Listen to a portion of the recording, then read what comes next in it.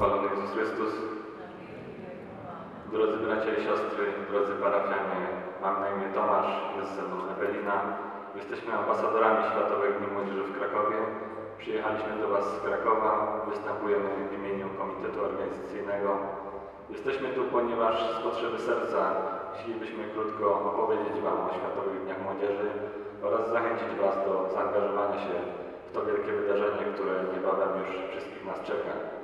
Chcielibyśmy Wam powiedzieć, czym są dla nas Światowe Dni Młodzieży i czym mogą stać się dla Was. Przede wszystkim jest to spotkanie. Spotkanie młodych ludzi, wzajemnie z młodymi ludźmi, którego doświadczać będziemy podczas wielu kulturalnych wydarzeń w tym zbliżającym się czasie.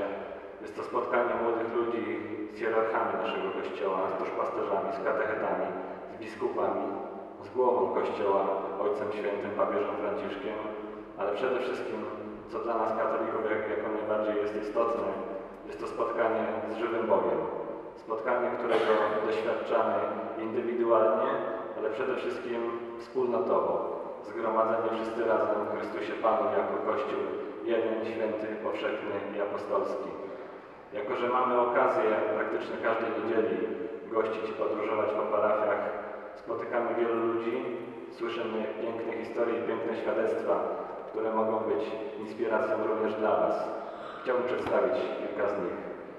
Jest w Nowej Hucie parafianka, starsza kobieta, około 70-letnia, która powiedziała wprost, że nie jest w stanie nam pomóc, przyjmując pielgrzymów do swojego domu, ponieważ sama mieszka w małej garsonierze nie ma miejsca. Zaproponowała natomiast y, inną pomoc. Zadeklarowała, że wraz z swoimi koleżankami przygotuje bigos dla 6 tysięcy Czechów, którzy będą gościć w tamtejszej parafii. W innej miejscowości spotkaliśmy panie z koła gospodyń wiejskich, które w ramach y, przywitania podarunków dla pielgrzymów już teraz przygotowują konfitury, przetwory w ładnie, estetycznie zapakowanych słoiczkach. Jest to również przejaw i świadectwo naszej polskiej gościnności. Z kolei w innej miejscowości spotkaliśmy rodzinę, która w swoim domu zorganizowała adorację, czuwanie. Zaprosili najbliższych znajomych i sąsiadów, a skończyło się na tym, że trzeba było zamykać ulicę, ponieważ przyszło ponad 300 osób. Jeszcze sam 10 miesięcy temu nic nie wiedziałem o Światowych Dniach Młodzieży. Zaangażowałem się z polecenia. Mianowicie mój starszy brat powiedział mi, że dobrze by było, gdybym coś zrobił, zaangażował się w wolontariat, bo więcej taka okazja w moim życiu już się nie powtórzy. Tak też zrobiłem, choć nie wiedziałem, czego się mogę spodziewać, czy się do tego nadaje, czy się nie nadaje, czego się mogę spodziewać, czy powinienem to zrobić.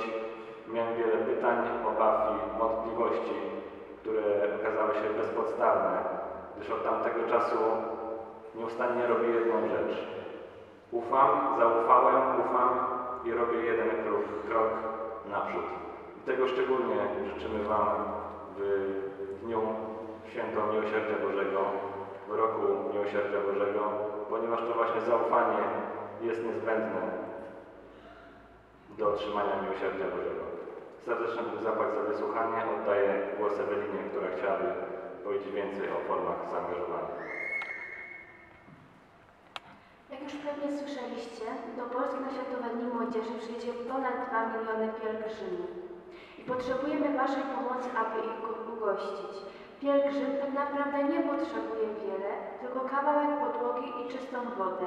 Każdy z pielgrzymów będzie miał własną karimatę i śpiwór. Podczas dnia nie musimy się zajmować pielgrzymem, ponieważ rano będzie wyjeżdżał z parafii, aby uczestniczyć w wydarzeniach związanych ze Światowymi Dniami Młodzieży i wieczorem będzie wracał. Jedynie o co Państwa prosimy, aby poczęstować gości posiłkiem, śniadaniem, w formie śniadania. Osoby, które nie są w stanie e, poczęstować, to śniadanie będzie organizowane również na terenie parafii. Ja niestety nie miałam okazji być na Światowych Dniach Młodzieży, ale moja koleżanka była w Rio de Janeiro i mieszkała u bardzo ubogiej rodziny, która miała mały pokoik, kuchnię, korytarz i jak były okna, nie mieli szyb, tylko deskami pozabijane. Spali na korytarzu, a pokój i kuchnię udostępnili pielgrzymom. Nie proszę Państwa aż tak wielkie poświęcenie, tylko o kawałek podłogi dla pielgrzymów. Bo lepiej, żeby spali w domu u kogoś, niż w szkole, gdzie muszą w kolejce czekać do toalety y, bardzo długiej. Y, Jeśli chodzi o bariery językowe, nie musimy się obawiać. Każdy z pielgrzymów będzie mieć słownik z najważniejszymi wyrażeniami polskimi.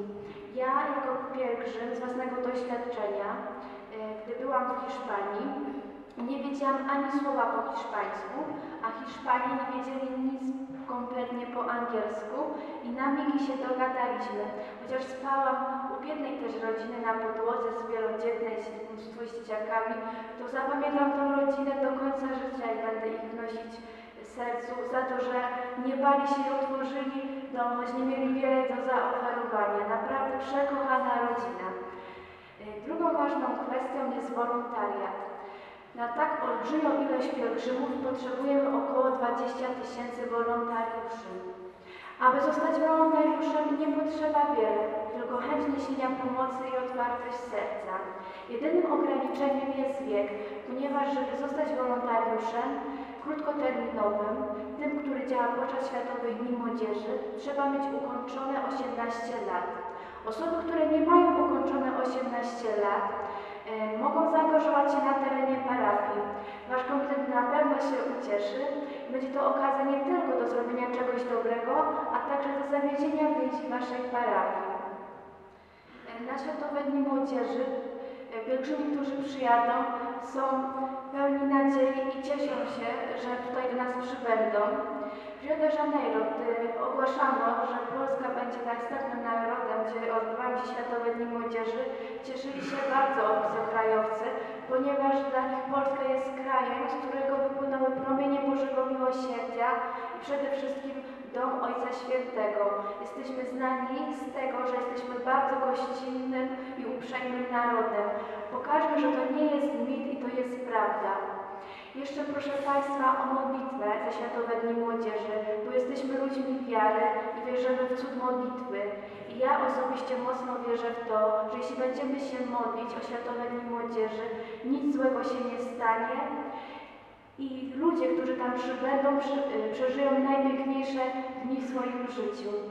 Jeśli Państwo mieli jakieś pytania albo nie mieli jeszcze deklaracji i chcieliby ją otrzymać, po mszy świętej obok kościoła główny myśl stoi od wolontariuszy Światowych Dni Młodzieży. Można do nich podchodzić, zadawać pytania. Nie bać się nas, nie gryziemy. W każde pytanie postaramy się odpowiedzieć. Wielki Bóg zapłat z Bogiem.